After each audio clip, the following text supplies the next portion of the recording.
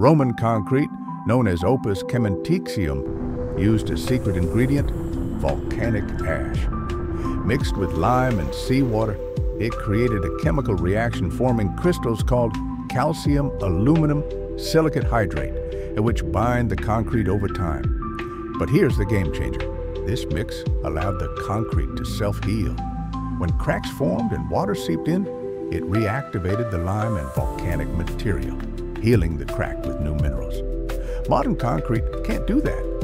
Modern concrete is based on Portland cement, which is faster to produce but far less durable, often degrading in 50 to 100 years, especially in marine environments.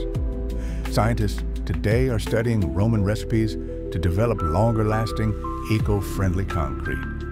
Turns out the Romans weren't just empire builders, they were materials engineers way ahead of their time.